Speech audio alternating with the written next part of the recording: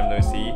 Um, I've actually had a lot of content that I stored onto my hard drive that I wanted to put out, but I thought that, you know, effectively it wasn't really that great or wasn't really that fun or interesting to be honest. Hence why I'm coming back again today with a more interesting video.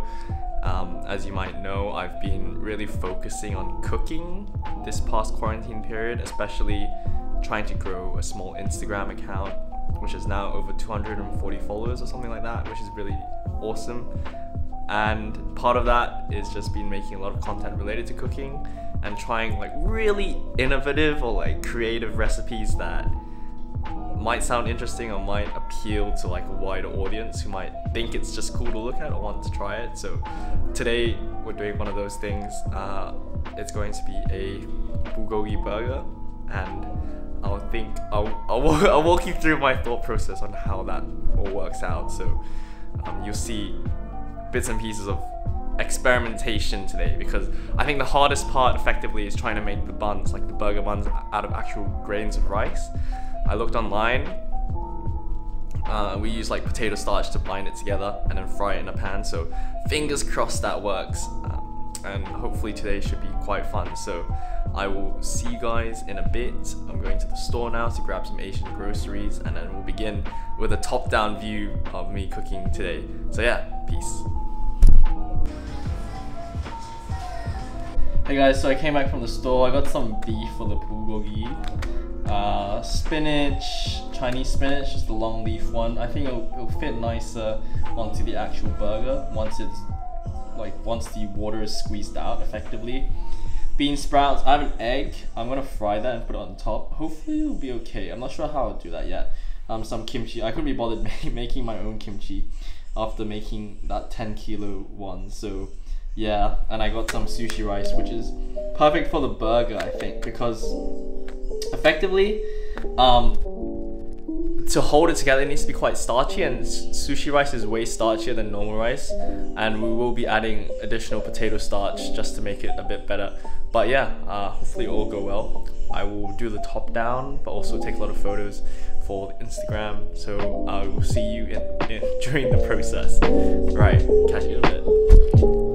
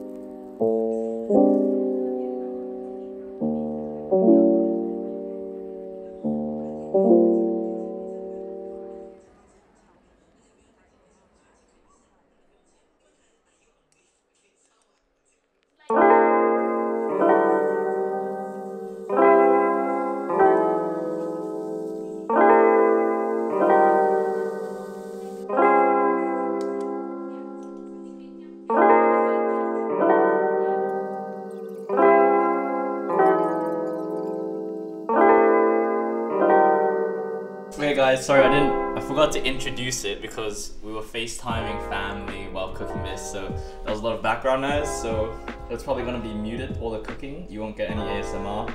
I'll just chuck a backing track on it. But look at this, it's so exciting. It's my it's my burger buns made from rice.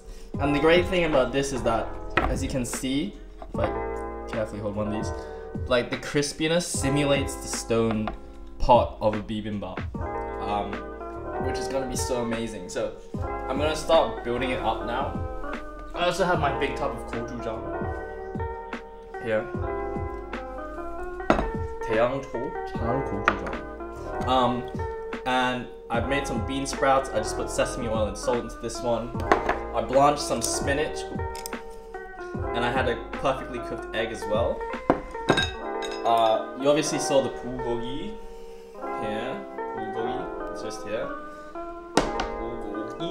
And I have my kimchi. So we're gonna start constructing it. Um, I'm gonna do it top down and then I'll film it from the side at, at a later point, I think. Uh, but exciting times. Um, that reminds me. I'm gonna swipe a spoon. But we're gonna start with this will be our base. Actually, I think this one is smaller than this one. It's about the same size. I think this this one should be our base actually. And you can see the crispiness in this one too. So we'll put this as our base. We'll have our kimchi here. I don't want it to overflow, I think. Um, but I will be using this whole portion. I'm not sure if it's too much kimchi though. But we can we can just test it as we go along. Um, think it's just gonna aesthetically be pleasing. Be aesthetically pleasing, I should say. And I don't know how tall the burger will be either. The ideal situation that I will get is that when we cut it in half, and hopefully it doesn't break apart when we cut it in half, um, we will get the egg oozing out because obviously it's a runny egg. So no qualms there. The next layer, I think, we'll put spinach. Um, which we've just squeezed out. It's just blanch. It's nothing too serious in there. I didn't even put any soy sauce or anything like that.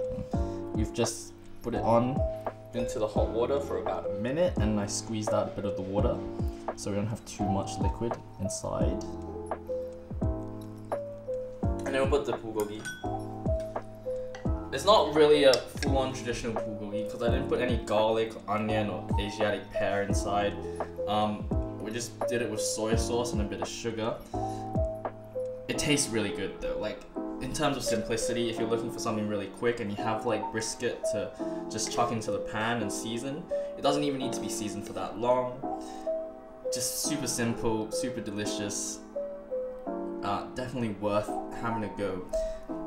The thing I'm worried about now is that, as you can see, like as a pyramid, since we started with such a wide base and the spinach wasn't as much as I thought it made, um, the bulgogi, if we try to spread it out a bit more, might be not structurally integral. I mean, not, there's no structural integrity to it, I should say.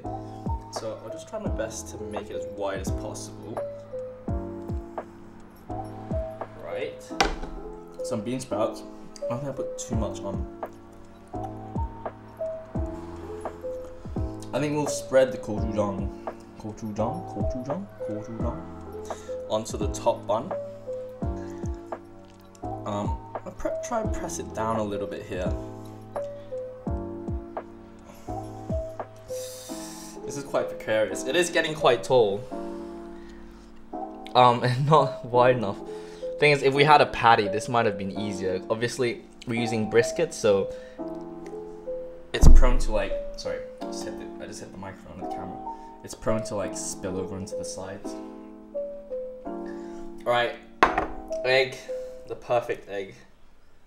And put on top like this. Okay, one second. I'll get a spoon. Got my spoon. Actually, I came into the room and I could see it from the side, and I will say I'm quite excited about this one. Uh, this is so funny. Okay, it's so extra. Like you wouldn't do it, right? Because if you have a stone pot, you just heat up the stone pot anyway, um, and just put it in. But I'll just put a tiny bit if the camera will focus. There we go. Of oh, of gochujang. What I'll do with this is that I'll grab the top bun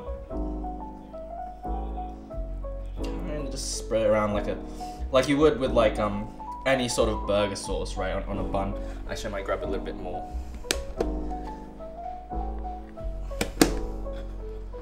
Like any burger sauce you grab on a bun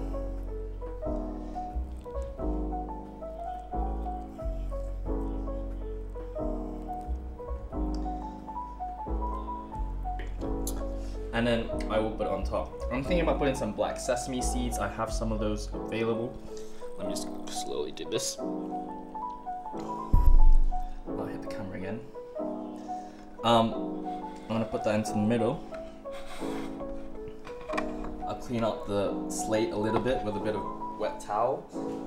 Another great thing I could have done as well, guys, by the way, if you're um, listening. Oh no, the egg leaked.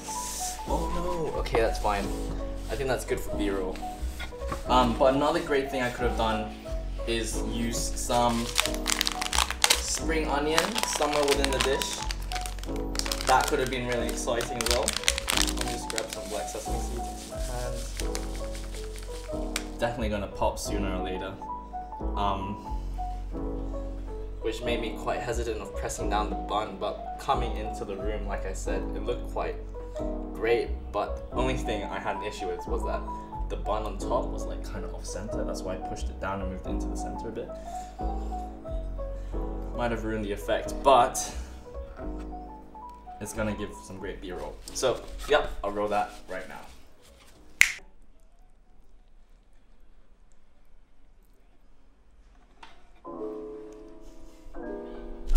That's like the remnants of the burger. Destroyed it. Tasted amazing. Um, hopefully you'll see the cinematic, or you've just watched the cinematic footage of the construction and everything, and saw some photos of me munching it down. Uh, it was actually a really interesting experiment. And so yeah, hope you enjoyed the video. Um, make sure to follow me on my cooking Instagram that is slowly growing at cedric.tan.food. And see you guys in another video, hopefully soon. Sorry I haven't been uploading as much to my dear followers. Uh, but yeah, uni is starting, so everything's getting a bit more hectic. So, but hopefully there's more content to actually come as a result of uni starting. So yeah, peace.